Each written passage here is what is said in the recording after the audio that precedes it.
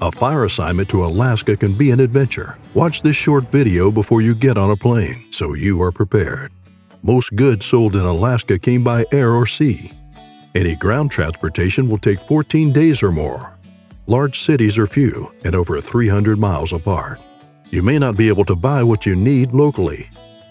The state's rugged conditions and vast expanse are challenges when supporting wildland fire incidents. Local firefighters came up with this advice to prepare for an Alaskan fire assignment. Be ready to camp.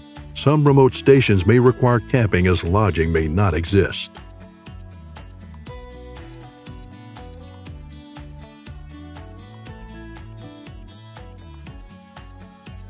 If your standard gear does not include the following items, you are not prepared for an Alaskan fire assignment. Multiple pairs of wool blend socks. Your feet will get wet a warm base layer shirt or fleece, a sweatshirt or hoodie, a raincoat, and a warm hat. A mid-grade tent, preferably freestanding, with a rain fly and sleeping bag. Rain is expected on Alaskan fires. Weather patterns can be cool and last longer. Drying out gear can be difficult. Also, the mosquitoes. Don't underestimate them, making it impossible to sleep. Bring some bug spray to start your tour. There is 24 hour daylight in the summer. You need a tent. Our supply caches do not carry tents as a standard. A GPS. Bring an old school GPS if you are crew or single resource and will be out in the field. You need a backup that uses batteries and does not require a cell signal.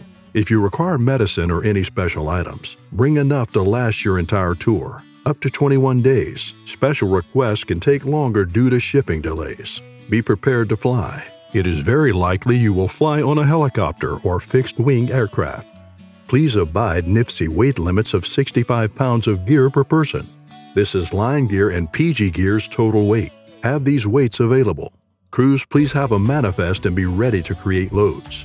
A blank manifest can be found on the AICC website. Many remote fires will be out of cell range. Satellite phones will be the only long-range communication. Before going out of coverage, download maps, the BLM Alaska Fire Service Handy Dandy, and other useful guides on the AICC website.